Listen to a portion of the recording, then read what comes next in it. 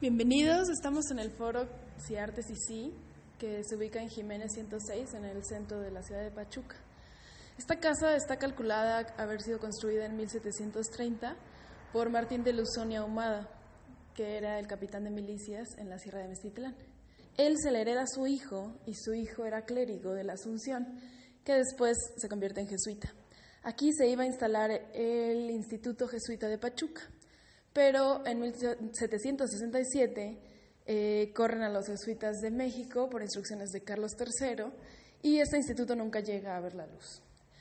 La casa pasó a ser propiedad de Juana María de Viruega, que fue dividiendo la casa pues como herencia en distintas partes.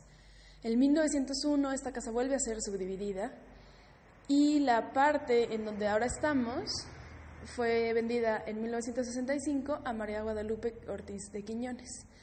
Vivió aquí hasta 2003, pero después tuvo un proceso de deterioro muy grande la casa y en, en 2008 se la venden a Casimiro Pedro Liedo Galindo, que hizo la última restauración entre 2008 y 2010. Este espacio, desde 2013, ha albergado producciones artísticas de Ciartes y Sí y de otros grupos. Ha estado, por ejemplo, Héctor Brauer, que es grabador de Jalapa, eh, por un periodo de dos semanas haciendo creaciones artísticas y talleres. Estuvo también Marie-Claude Gedron, artista residente de Simbiosis, en 2015. Eh, se han filmado cortometrajes para talleres de Luis Mandoki.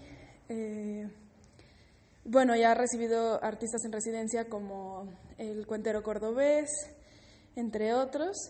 Y bueno, lo más reciente pues fueron ocho funciones del proyecto de 2000 años de Magdalena.